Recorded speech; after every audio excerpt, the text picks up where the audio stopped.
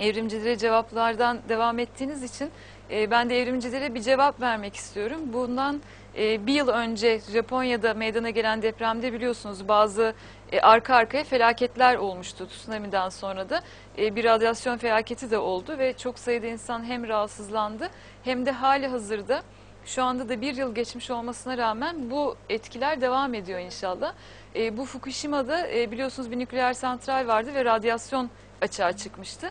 Bu radyasyon açığa çıkmasından dolayı Fukushima'nın e, yakınlarındaki bir kelebek türünde mutasyonlar gözlemişler bilim adamları ve kelebek türünün e, ilk önce %12'si daha sonra da gittikçe artarak larvalarında meydana geliyor mutasyonlar ve daha sonra da e, gittikçe artarak %40 %50 e, yoğunlukta kelebek popülasyonunda bu görülüyor ve bu mutasyon sonucunda kelebeklerin bildiğiniz kanatları gelişemiyor ve kelebekler hayatını kaybediyorlar. Dolayısıyla evrimciler, e, bütün evrimcilere sesleniyorum buradan fosillerimizi gizlemeye çalışanlar, televizyonlarda bilimsel diller kullanarak halkı yanıltmaya çalışanlar ve evrimin bilimsel bir delil olduğunu, bilimsel delillere dayandığını iddia eden evrimcilere sesleniyorum. Bakın şu anda günümüzde mutasyon örneği olarak canlı yeni bir örnek var ve hiçbir şekilde oradaki kelebeklere bu radyasyonun bir faydası olmamıştır.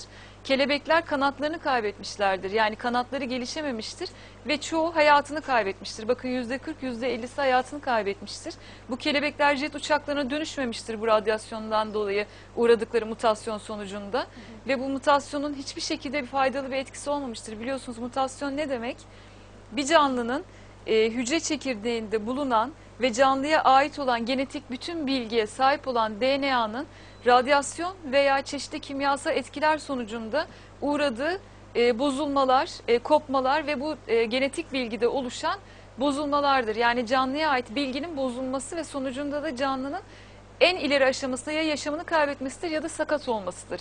Gördüğünüz gibi bu radyasyon, şimdi resmine bakabilirsek haberin, Fukushima kelebekleri mutasyona uğrattı diye haber. Japonya'da geçen yıl deprem ve tsunami'den sonra Fukushima nükleer santraline meydana gelen radyasyon sızıntısı santralin çevresinde kelebeklerin mutasyona uğramasına neden oldu.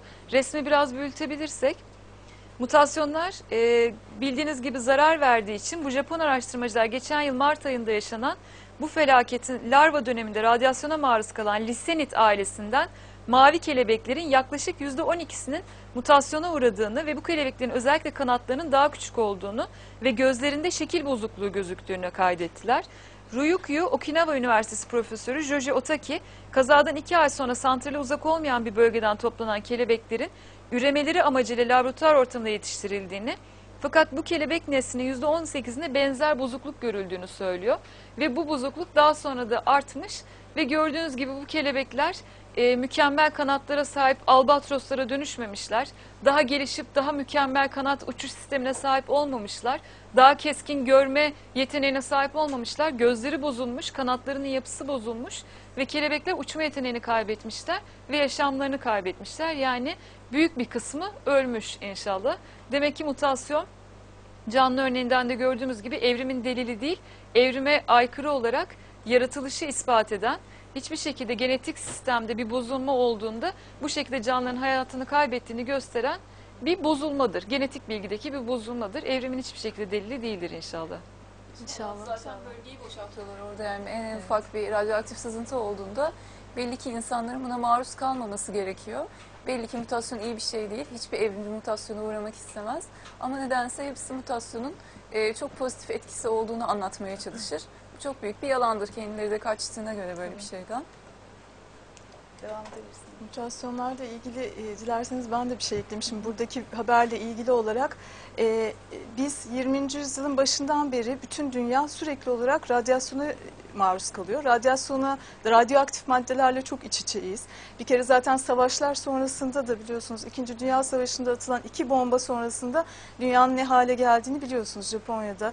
E, neler yaşandığını bütün dünya biliyor. Arkasından Çernobil yaşadık. Arkasından bu Fukushima olayları yaşadık. Başka nükleer e, e, kazalar yaşadık. Bütün dünya yaşadı. Bu arada sürekli olarak röntgen cihazları sürekli faaliyette, e, tomografi cihazları sürekli faaliyette. Sürekli X ışınları alıyor insanlar ve sürekli hücreler bozulmaya uğruyorlar.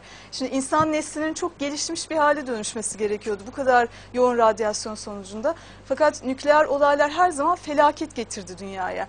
Ee, biz her zaman e, işte Hiroşima'dan sonraki olayları hep e, hep bir e, esefle andık o olayları. Çünkü o kadar kişi öldü ve daha sonrasında da nesiller bozuk ürediler. Yani bozuk, bozuk bir genetik bilgiyle ürediler. Çünkü genetik bilgileri bozuldu o dönemde yaşayanların. Daha sonrasında Çernobil olaylarını biliyorsunuz. Onun etkisi hala bizim ülkemizde dahi devam ediyor genetik olarak. Kanserler arttı. Bakın çok önemli bu. İnsanlarda bir gelişme, genetik bir gelişme söz konusu değil. Daha da beteri oldu. Çok ciddi kanserler arttı. Kanser çeşitleri arttı. Daha önce bilinmeyen kanserler e, daha fazla artış göstermeye başladı. Bunların hepsi mutasyonların sonucudur. Radyoaktif etkilerin sonucudur. Sonuç olarak bu Fukushima'da meydana gelen olayda da bakın biraz evvel Didem detaylı okudu. Diyor ki daha küçüldüler, e, kanatları e, yapıları daha küçüldü. Gözlerinde şekil bozukluğu oluştu. Madem mutasyon iyi bir şey, neden bu canlılara birdenbire iyi bir organ, iyi bir yapı nakletmiyor da hep bozukluk, hep karşımıza çıkan hep bozukluk ve felaketler oluyor. Ve ilk nesilde %12 iken bakın üçüncü nesilde %34'e çıkmış bozukluk oranı. Artarak mutasyonun etkisine bakın. Genetik bilgiyle artarak artarak bozulmalar nesiller boyu devam ediyorlar ve daha da artış göstererek yani felakete doğru götürüyor o nesli. O mutasyon. Dolayısıyla aldatmaca yapmasınlar, insanları kandırmasınlar. Tek bir mutasyon, yararlı mutasyon örneği gösteremeyen Darwinistlerin hala da mutasyonla evrimleşme diye bir iddiası, iddiayı savunması bayağı berbat bir şey yani. Bundan hemen kurtulmaları gerekiyor. Şimdi ben de onu söyleyecektim. Bütün dünya evrimcileri bir araya gelmiş. Yine de tek bir tane faydalı mutasyon örneği sorduğumuzda veremiyorlar. Evet. Demek ki böyle bir şey gerçekten yok. Sadece laf olarak bütün e, konuşmalarında mutasyonlarla olur. Mutasyonlar genetik bilgiye bilgi eklerler. Mutasyonlar harikalar yaratır. Üst üste bunlar birikir. Sonuçta böyle bir şey olur diye masal olarak anlatırlar ama hiçbir zaman tek bir örnek bile veremezler.